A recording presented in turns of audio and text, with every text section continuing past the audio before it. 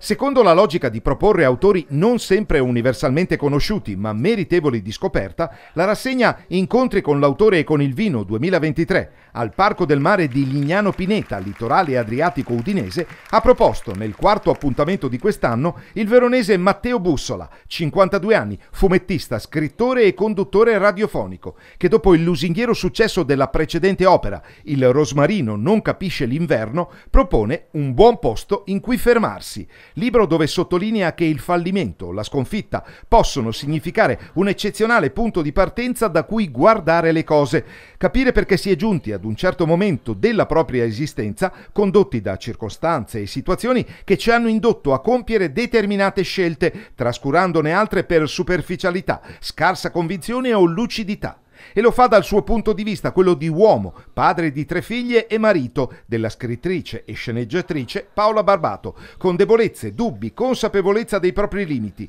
rovesciandone la prospettiva, giudicata per convenzione negativa, trasformandola in straordinaria opportunità. È il modo perché la vita non prevalga mai su di noi, ma ci trasmetta la convinzione che con il rispetto che merita, il nostro cammino su questa terra non si riveli sentiero ostile, bensì un percorso dove fatica e sofferenza possano dimostrarsi apprezzabili compagni di viaggio con cui convivere e anche saper sorridere.